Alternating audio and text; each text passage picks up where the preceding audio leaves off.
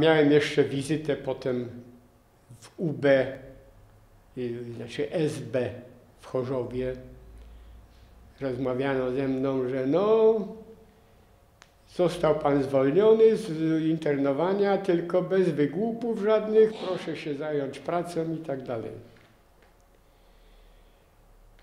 No jak zostałem zwolniony, no to mam dokument y, od SB, że jestem zwolniony z tym i z tym. Wziąłem ten dokument i idę do Budostalu 4. Zgłaszam się do dyrektora. Dyrektor mówi, chętnie pana przyjmę. Był pan tylko tutaj jako urlopowany. I przyjął mnie do tego samego działu, do którego poprzednio, y, w którym poprzednio pracowałem. Nawiązuję kontakty z dawnymi kolegami z, z działalności Solidarności. Część z nich wyłączyła się z pracy, ale część chciałaby dalej pracować. Wobec tego z nimi ustalam takie różne spotkania, rozmowy na temat działalności Solidarności. W tej chwili, w tym czasie toczyły się takie mm, rozmowy pomiędzy Solidarnością, rządem i branżowymi na temat powstania nowych związków zawodowych.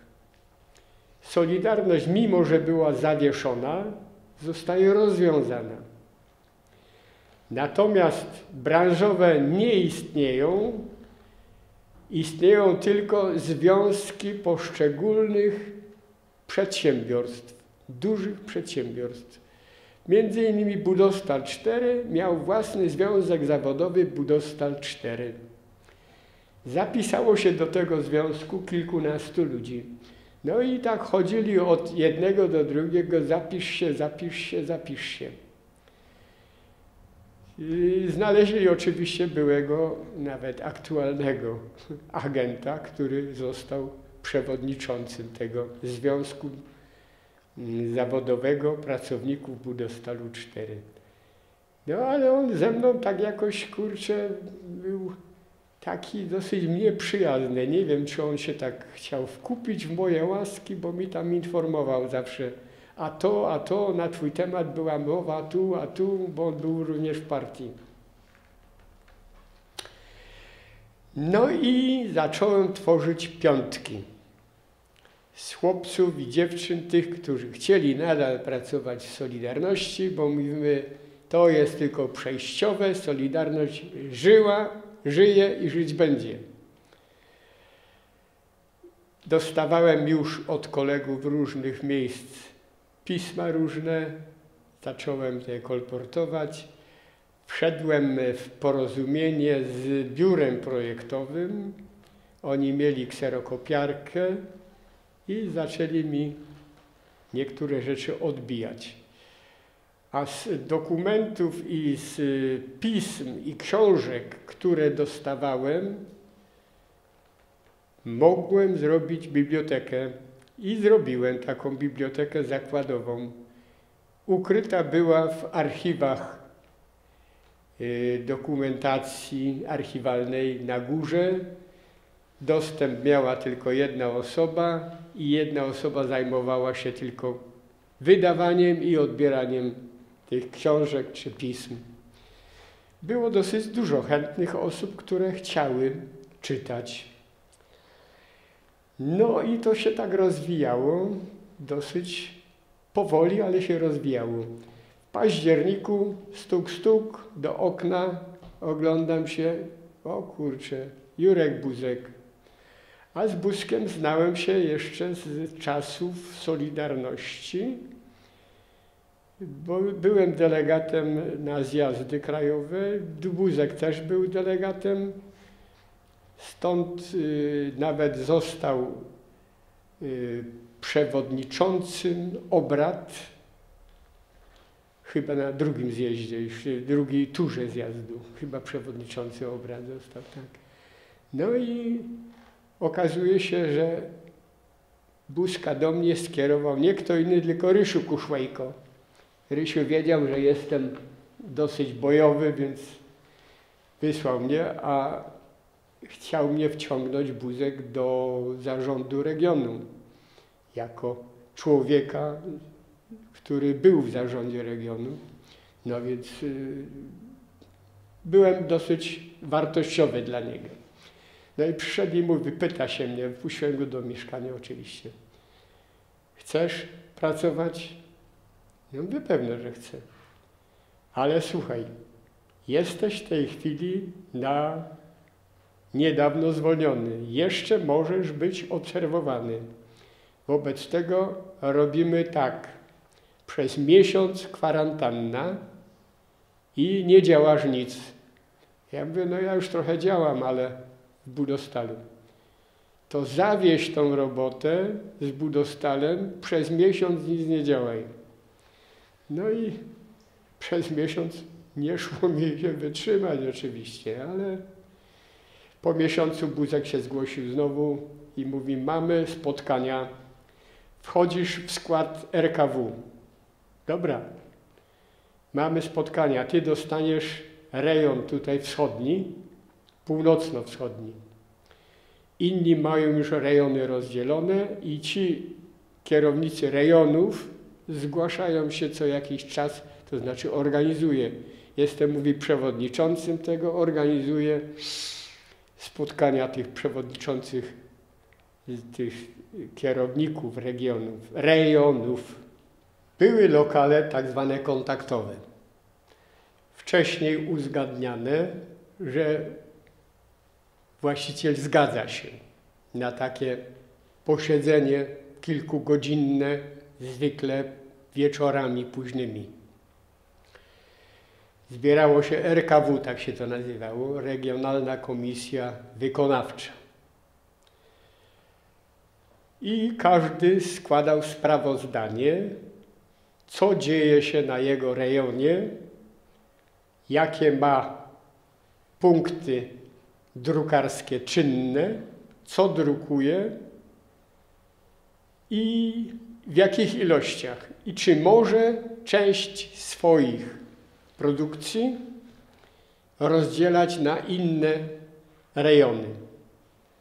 Jak się okazało, to było kilko, kilka e, rejonów, które drukowały same.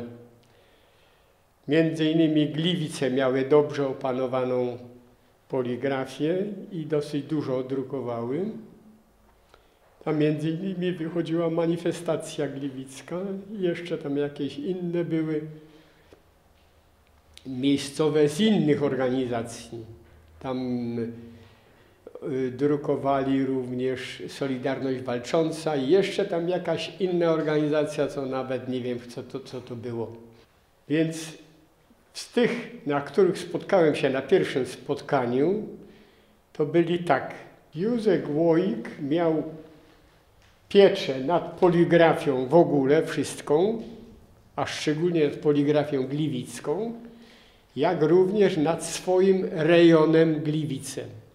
W Jastrzębiu zajmował się Janek i znowu uciekło mi nazwisko, ale za, za chwilę sobie przypomnę. W Katowice miał już w tym czasie y, Jurek Sołowiej. To było pierwsze spotkanie, było już w 2000, po 1983 i o ile pamiętam, było to spotkanie w Katowicach u pani Marii, o kurczę nazwisko, miała pseudonim Hilda. U Marii Hilda. Ona była inżynierem, robiła doktorat w Instytucie jakichś farb i lakierów w Katowicach. I na tym spotkaniu byłem pierwszym, pierwszy raz byłem ja, był bodajże y, Józio Łoik, Józio na niego mówiliśmy. Piotr Kowrygo to miał pseudonim Jacek, o ile sobie pamiętam. I był Jaś Bożko, Romuald Bożko z Jastrzębia, pseudonim albo Romek, albo Jaś. No i byłem ja. Rany gorzkie. Śląskie imię. Hubert nie, Hubert nie. He, Herbert nie, Herbert.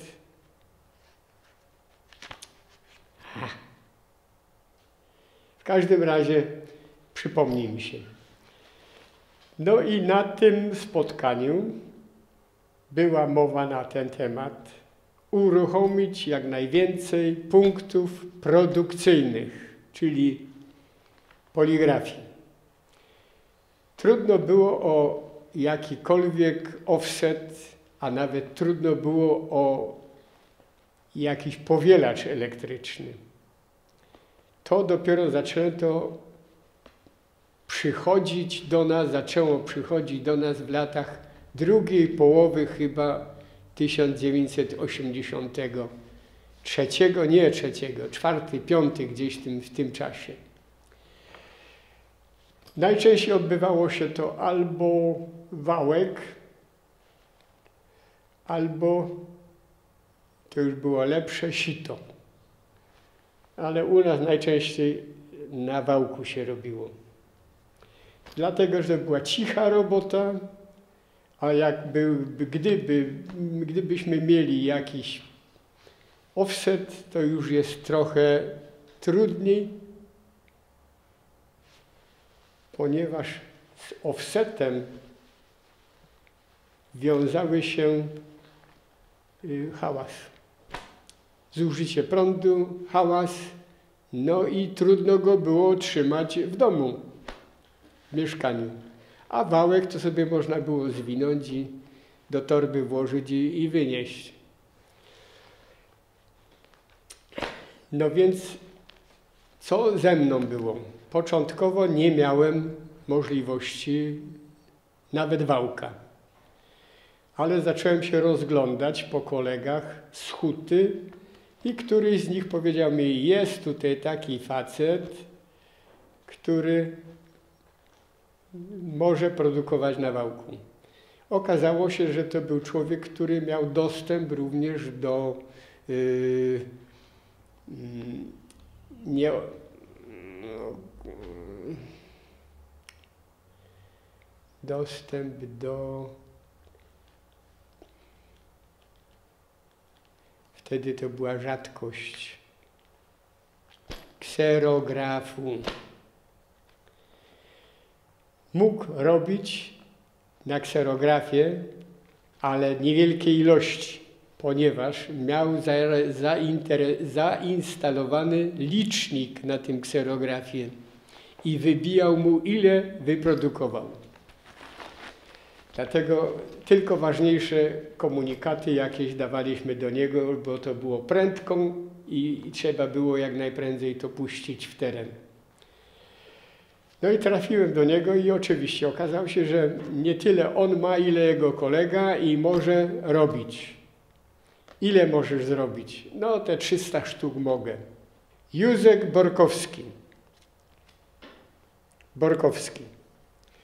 Był pracownikiem huty i miał właśnie w swojej dyspozycji kserograf. Jest to taki pierwotny kserograf, ale, ale, ale był dobry. No. Dużych ilości nie mógł produkować, ale tylko kilkanaście sztuk to mógł z miejsca zrobić. No i on z kolei, jeśli idzie o Józka, skontaktował mnie potem z Marianem. Byśmy go nazywali albo Krawiec, albo Marian Żukowski. No już z tym człowiekiem to już szło porozmawiać, bo czasami jeśli idzie o Józka Borkowskiego, to nie był słowny, jak się to mówi, a u nas słowo znaczyło wiele. Jeśli się ustaliło termin i spotkanie w tym i w tym miejscu, to trzeba było być, bo narażało się innych, że przyjeżdżają z daleka czy gdzieś tam i zostają mieszkanie zamknięte, albo człowieka nie ma i zastanawiają się, albo go SB zdjęło, albo zawalił w jakiś inny sposób. W każdym razie punktualność i, i wywiązywanie się z danego słowa była bardzo ważna. A mnie to Łuska denerwowało, nie... Często się na, zdarzały u niego takie historie. Drukowaliśmy, jeśli idzie o nasz zarząd regionu, czyli RKW, to była RIS, Regionalny Informator Solidarności. Tak. Do tego dochodziły czasami jakieś inne pisemka, z których dostaliśmy zgodę tych, którzy dysponowali tym pisemkiem, że możemy sobie z niego zrobić, to znaczy przedrukować go u nas, co robiło się na maszynie na białkowej matrycy. Ale to musiała być ciekawa pozycja, którą było warto zainwestować. Dostawaliśmy już wtedy z Warszawy yy,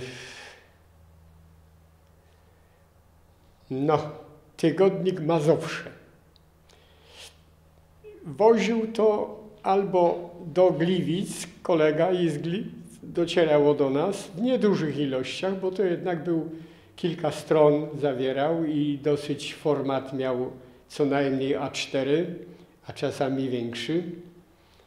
A4 najczęściej. No i stamtąd z Warszawy y, Józek, to znaczy Buzek, Jurek najczęściej na niego mówiliśmy. Jurek y, dał mi kontakt na Kraków i na Warszawę. I na Kraków to albo sam jechałem do Krakowa i tam dowiadywałem się, znaczy na miejscu w tym punkcie wymieniałem hasło, odzew i brałem materiał, albo tylko umawiałem, że przyjedzie dnia tego i tego ktoś na takie hasło. I co najwięcej, jeszcze Warszawa. Do Warszawy jeździł od nas kolega, yy, Łopuch na niego mówili, mówiliśmy, nazywał się Łopuszański w Sosnowcu mieszkał przy PCK. I on jeździł najczęściej koleją. Dostawał ode mnie pieniądze i przywoził materiał. Książki, pisma. Czasami był obładowany tym. A później już sobie załatwiliśmy, że samochód jechał. Oczywiście stawał gdzieś tam w innym kącie, dosyć daleko od punktu. Człowiek się zgłaszał z torbą na punkt, mówił hasło, odzew, tamten odpowiadał, no i ile macie, co macie i zabierał. A ja miałem kłopot z rozprowadzeniem, to znaczy kłopot. Ludzi było dużo chętnych do brania, ale były to najczęściej wszystkie środki płatnicze, to znaczy materiały, za które trzeba było płacić. Więc y, trzeba było te punkty obsłużyć. Początkowo było tego niewiele, ale jak zaczęliśmy robić na dwa, a potem nawet na trzy powielacze, nie powielacze, a wałki, a nawet cztery potem były, bo u Pampucha w kopalni i potem y, w y, Olkuszu Starym. Tam nam produkował dosyć dużo materiałów i to dobrze produkował i stamtąd woziliśmy również tygodnik Mazowsze. Siwek na niego mówiliśmy, ale jaki miał pseudonim, tego nie pamiętam, znaczy nazwisko, tego nie pamiętam. Czy nie był to Siwiński przypadkiem? Nie jestem pewien. Ale trudno byłoby mi w tej chwili wymienić ludzi i punkty, w których się spotykaliśmy. U Marii, u Hildy to, był, to były Katowice. W Katowicach spotykaliśmy się również w kilku miejscach. Na, mm, przy Ochojcu, jedna ulica, tam się spotkaliśmy u starszej pani. Druga y, to była mm, punkt kontaktowy y, y, Katowice. Chrobrego to chyba było u pana Bienieckiego.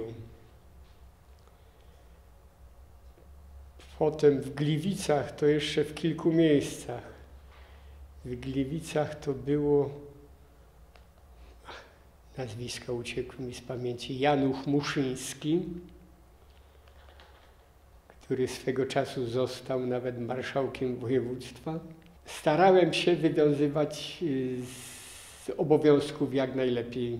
I z tych melin, na których, u których, w których ukrywał się Tadek Jedynak, znam tylko dwie. Mianowicie w Sosnowcu u państwa, nazwisk już nie pamiętam znowu, na Ostrogórce tak zwanej, na dziesiątym piętrze. Tadek tam miał lokal zapewniony. Człowiek pracował w Sosnowieckim Przedsiębiorstwie Budownictwa Przemysłowego. Żona jego pracowała w fabryce kotłów w Sosnowcu. Byli bezdzietni. Mieli tylko psa. Stąd Norusia. Norusia to było imię tego psa, bo to była suczka. Właściwie miała Nora na, na przezwisko, ale ta pani mówiła na nią Norusia. Stąd używając jakichś y, poleceń czy przekazań, to zawsze posługiwałem się tym słowem. Pani Norusia będzie tu i tu, albo do Norusi trzeba zatelefonować tu i tu. No i tak to Norusia do niej przylgnęła.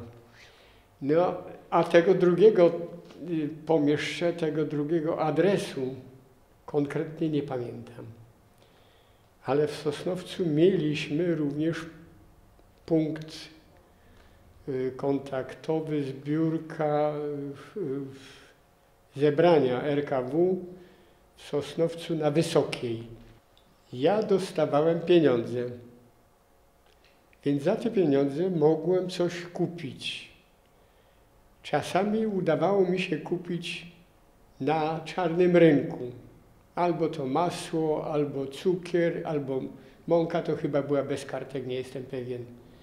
A czasami koledzy z Budostalu 4 robiłem taką zbiórkę. Słuchajcie, potrzeba, ktoś się ukrywa, potrzeba coś tam zebrać no to zdarzało się, że dostawałem. No i sam woziłem to do, z tym, że co najgorsze, nie chcieli przyjmować tego. No nie chcieli za skarby świata. Ale jak mieliśmy spotkanie u kogoś, to staraliśmy się z sobą przynieść jakieś wiktuały, żeby gospodarzowi, który nas przyjmuje najczęściej kawą częstuje, czy jakimś ciastem, żeby coś w to miejsce zostawić. Oprócz tego, że dostawał jakieś materiały od nas, to jeszcze czasami, no ja pieniędzy nie, nie, nie dawałem, bo nie chcieli przyjąć, ale jakieś materiały y, żywnościowe tak. Y, to było to, ale no Tadek się jeszcze ukrywał y, koło Ochojca. Z Częstochową miałem kontakt poprzez y, magistrala, na nią mówię magistrala. Miała na imię Madzia, Magdalena, ale nazywałem ją magistrala. Mieszkała y, w Dąbrowie Górniczej, a matkę miała w Częstochowie. Matka była zaangażowana w Solidarność i wymienialiśmy materiały. Często od niej brałem y, matryce białkowe. Nie wiem skąd tam miała, no nie dochodziłem do tego, skąd tam miała te możliwości, a od nas brała różne materiały, różne.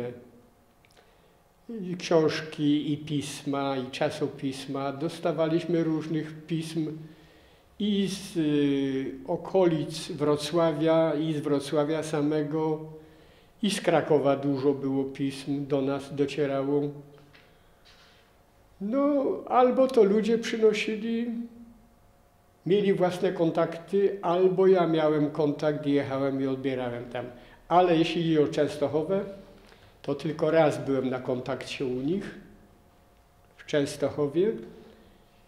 Całą grupkę solidarnościowych pań, same panie były na tym spotkaniu tam zastałem.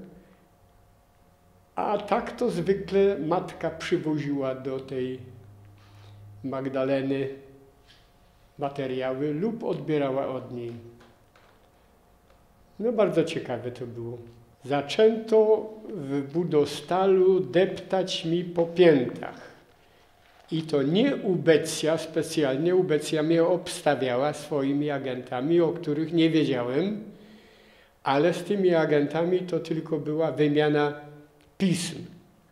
Dostawali ode mnie pisma i na tym się kończyło.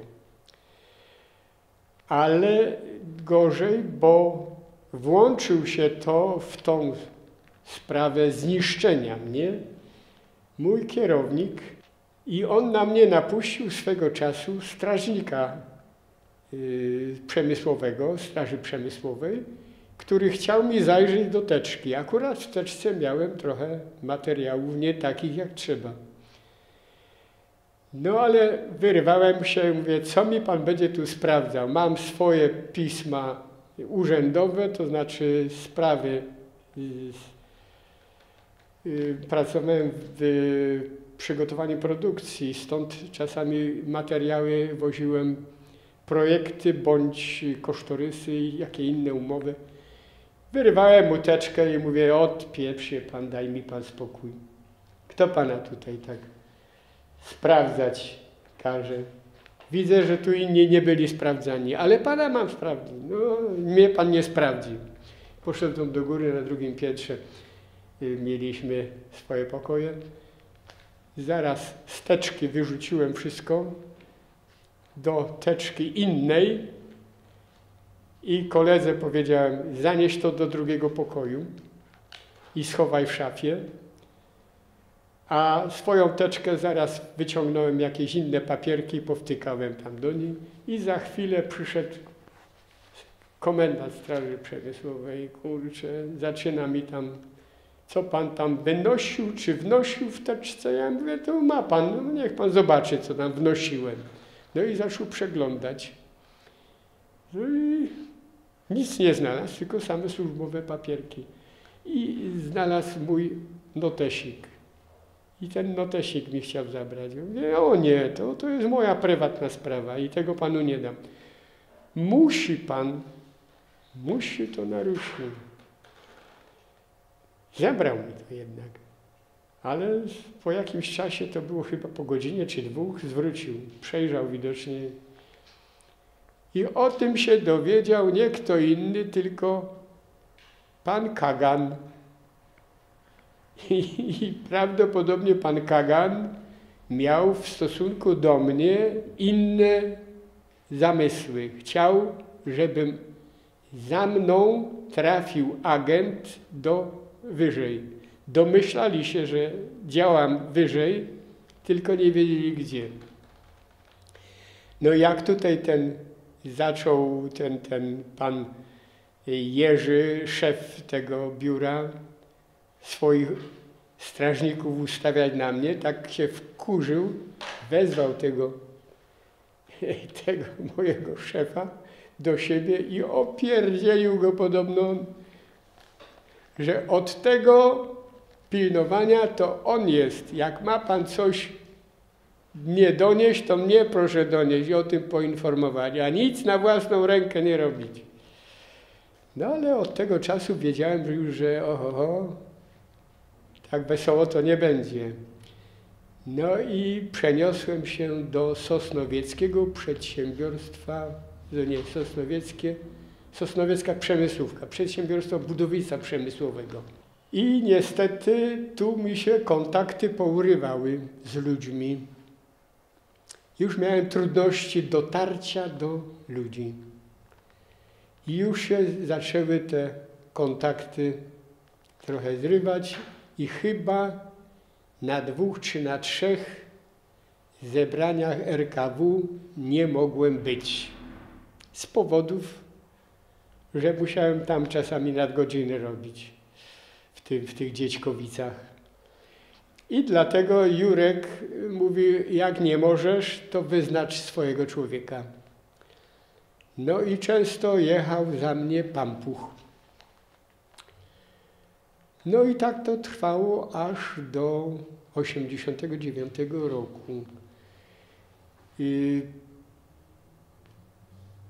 jeśli idzie o materiały drukowane, to czasami Gliwice dawały mi swoje materiały, żeby ulokować to w tej, w tej mojej poligrafii w Budostalu 4, żeby mi to zrobili jak najprędzej i elegancko, bo oni to robili, zszywali materiał, od razu okładki dawali jak trzeba. Yy, no ale to w 80, 70, po 89 roku, w 88 chyba była pierwsze spotkanie taj, nie tajnych, jawnych, bo mi powiedzieli, że jest, a ja mówię, a sami jawni nie jadę, nie mogę się ujawnić. Byłem za to w Wiśle, to był już 89, chyba luty. Byłem tam, mieliśmy prawie dwa dni zebrania. No, stamtąd wyjechałem dosyć podbudowany bo już mieliśmy możliwości rejestrowania Solidarności od podstaw, od zakładu pracy. Tak nas utopili, to Wałęsa nas tak wrobił w te, w te a, tego mu nie mogę darować. Zamiast odwiesić, bo była zawieszona, odwiesić Solidarność, to ją kurczę zaczął robić tak jak, jak komuna zrobiła z tymi, jak mówiłem, związki zawodowe w zakładach pracy, zakładów pracy. No ale myśmy się nazywali Solidarność i mieliśmy swoje odgórne, no ale mimo to niesmak pozostał. Byłem na, aha, na tym zebraniu. Oczywiście w skład w skład zarządu nie wszedłem, ale byłem nadal uważany za członka zarządu poprzednich, z poprzednich zjazdów.